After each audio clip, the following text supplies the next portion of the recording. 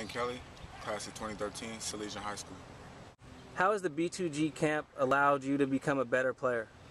Well, the B2G camp allowed me to have better instinct training, you know, working on getting in and out of breaks, as well as my speed. So, you know, it's, it's a great opportunity for kids to get better. You've got a few guys out here from Salesian. How does that help you, you know, get better acclimated out here amongst some of the top recruits in the country, being more familiar with some of your guys from back home? Well, you know, being out here with some of my guys, it helps me get it helps me get a better understanding of how they play under pressure. You know, my quarterback, how like timing wise of how he would throw the ball. You know, my linebackers of how we would do in game time situations. You know, just all, all that put together, we know what to do when the lights come on. What have been some of the biggest takeaways for you in regards to some of the drills and exercises that they have you guys going through?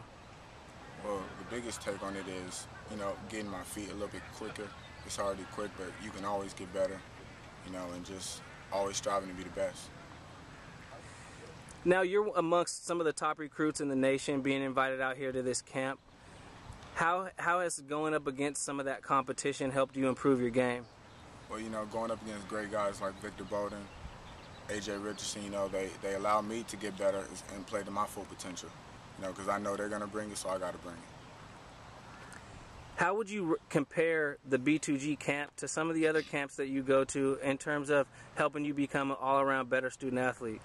Well, I would compare them, I mean, like I said, with instinct training, it's just this one's a little bit better because they teach you the proper way because some of these coaches have played in the league, so they know, how, so they know the experience and how it's done how important is it for you as a student athlete to work with guys who have had that experience, who have played in the league, um, and working with those guys to help you improve your game? It's very important. It's very important to, to work with these guys that play in the league because if they done it and they and they got to the league, then I can only do it and get to the league. You know, if, uh, you know, if we put our knowledge together, I'd be just another excellent player. Now, we all know any excellent player is just an excellent player if the academics aren't in line first. What, how do you work academically to prepare yourself for the next level? Well, my academics are great, by the way. I have a 3.8, so my academics will never be a problem. What do you What do you feel like helps you the most um, in the classroom to make that transition to the field to become better? What helps me a lot is being able to pick up on things right away. You know, if you tell me something, I'll, I'll be able to do it right there on the spot. So I, I think that works to my advantage. With respect to playing at the next level, which coaches or schools have shown interest, and do you have any official offers currently? Yes, sir. I've just been currently offered by Washington Huskies yesterday, and um, I got San Diego State last week.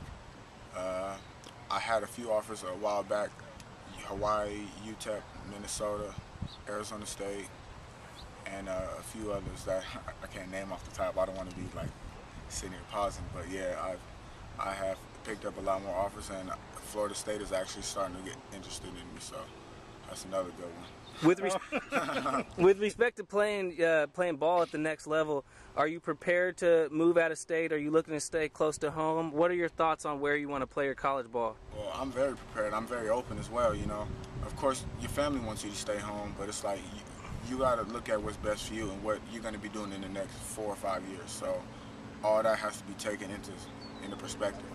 So, you know, there's going to be a lot of thinking involved, but choice is going to be made at the end of whether I'm going to stay home or, or whether I'm going to leave and go out of state.